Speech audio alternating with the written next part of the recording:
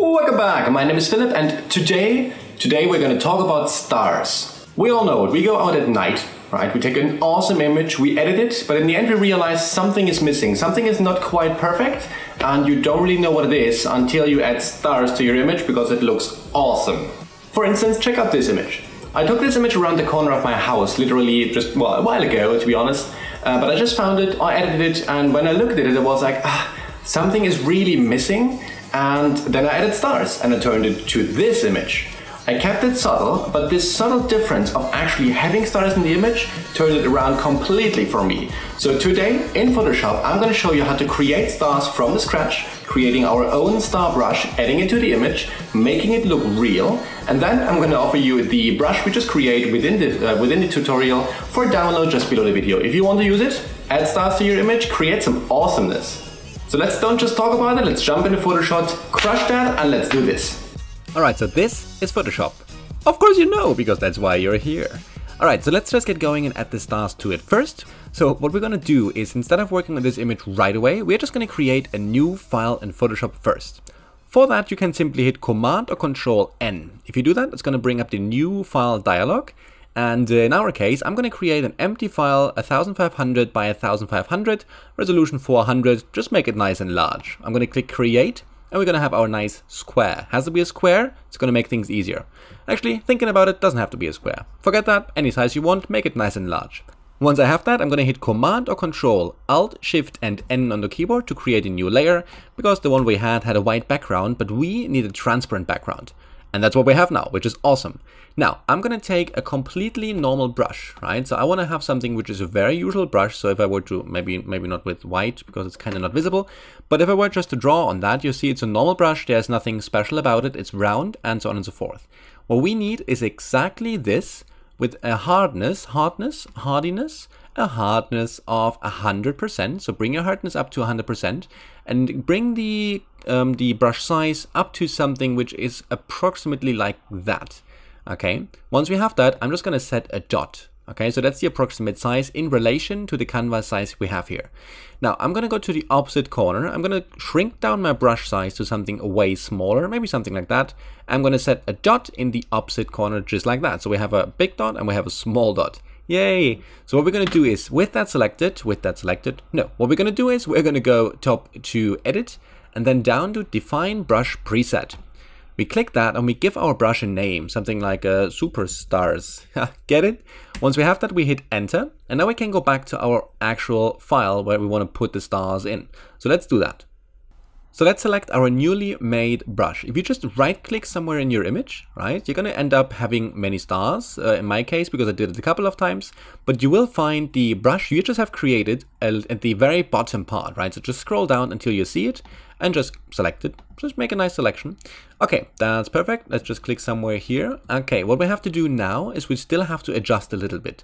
If I were to draw now, you can see it's doing a little bit weird stuff, so that's not really what we want to do. We need to adjust our brush. You can do this in two ways. Either you go to the right hand side and click on the little, the little, what's that even called? The brush symbol, I suppose. Or you go to the top left and click it there, right? Wherever you do it, it's going to open up this particular dialog. Now here we want to add a couple of information or we're going to have to change a couple of settings.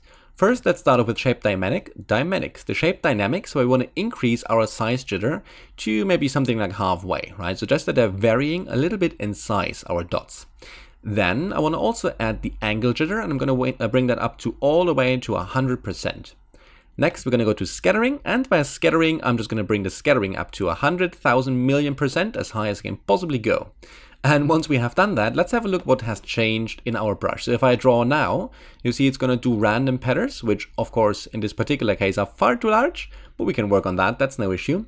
Now let's just shrink down our brush first of all. Shrink it down, let me do something like, I don't even know, maybe 70 or so, maybe 90. Yeah, that could be an appropriate size. Let's make it a little bit larger so that you guys can actually see what I'm doing here. Bring it up to 100. Might still be a little bit too small. Let's just use that. You can definitely see this in the video, right? That's perfect. Okay, so now we have that. What we see, whenever I draw now, I have far too many stars. I, I, I don't need that many stars in my image. So let's go back to the brush settings and go top to the top to brush tip shape. And at the bottom here, you can increase the spacing. So I'm just going to bring it up to say 66% just to see how it works. So what I'll do now is I'm just going to go and take some circles here. Just going from left to the right and then back to the left again. I'm then just drawing the stuff in. I'm also gonna go over the building, of course, so we're gonna have stars in the building because that's fashion. Now, we're gonna remove that later, so no worries at all. But for now, let's just bring that stuff in until we are happy with the amount of stars we have. I'm gonna go with a lot of them right now because then you can see it way better than if I would just go with a couple of them.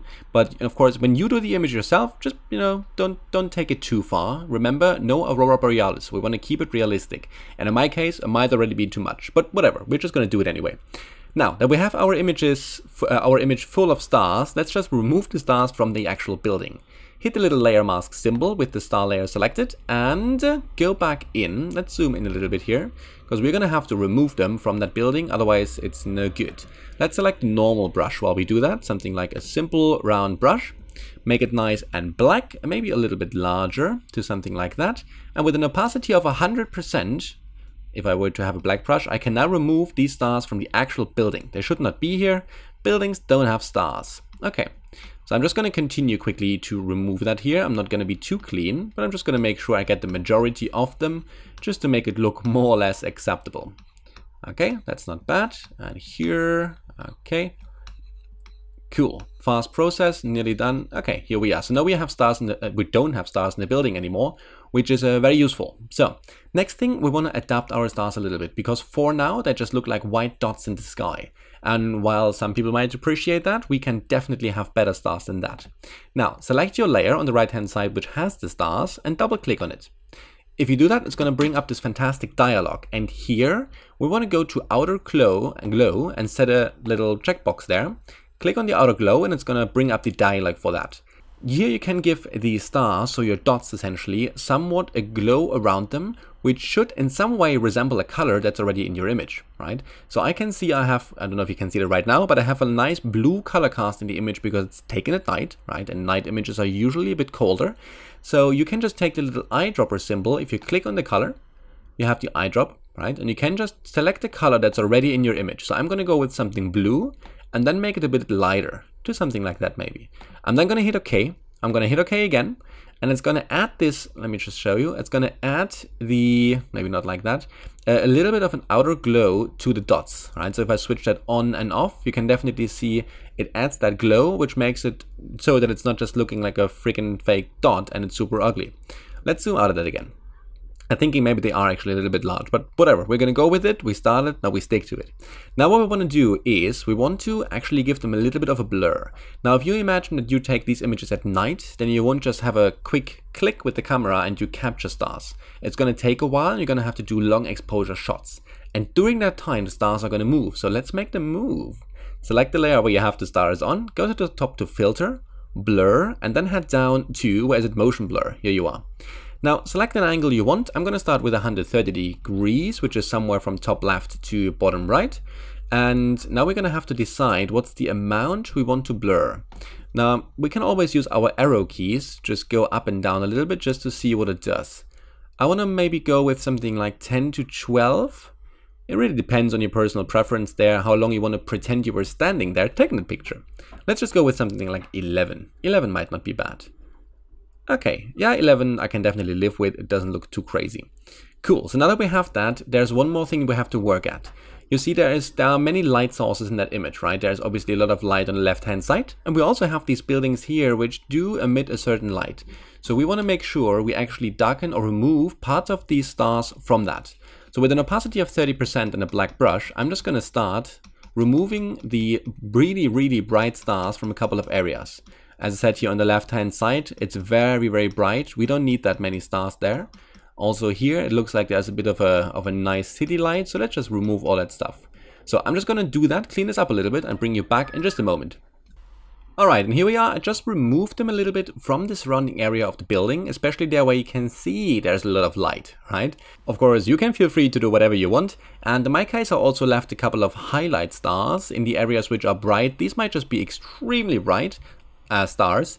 and that's why they are still visible even though they're light. You know, who, who can tell you otherwise, I suppose? Okay, so now that we have them in the sky, we do need them into water as well, right? Because just in the water, it's going to really complete that look of a nice sky.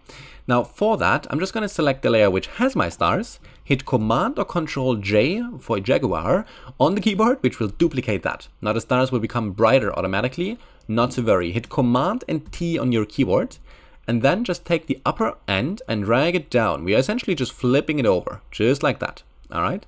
Once you have that, use your arrow keys to position the stars so that the buildings and everything is still free, so that it's more or less in the same position. And once you're happy, just hit the enter key. Now what we're going to do, of course, is we're going to have to reduce the opacity on that, because stars in the water will never be that bright as they are in the sky, right? And let's just bring it down to something like this, maybe. That's cool. Let's zoom in and have a look how that looks. Yeah, I kind of like that. That's not bad. Even though we still have the stars here, but let's just ignore those. What we're going to have to do next is in the water, things tend to be a bit more blurred, right? Because the water is obviously moving. So we're going to have to adapt our stars for just a moment. So what we can do is, with the star selected in the water, we're going to go to filter and then down to blur and down back to motion blur. And here we're just going to blur them in the exact other direction as we had them blurred before. So instead of top, top left to bottom right, we're going to go from bottom left to top right. So for that, we're just going to put in the opposite angle, or you can just, of course, also turn that wheel here if you feel like. I'm going to uh, check now what is the appropriate distance. And distance-wise, we might go a little bit more maybe something like this. 14 would, I think, fit nicely in our image. Let's have a look. Going to think for a second and it's going to blur our stars even further. And I don't think that looks bad. I kind of like what it does there. That's cool. That's absolutely cool. Now, the next thing we can do, remember how we gave it a nice outer glow? We can still do that with the stars that are in our um, sort of water area. So I'm going to go back to the color.